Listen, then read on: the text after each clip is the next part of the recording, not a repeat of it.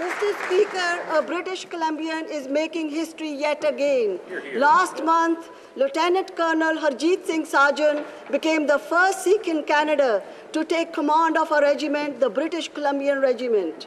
Canada's Sikh community has a proud history of brave military service.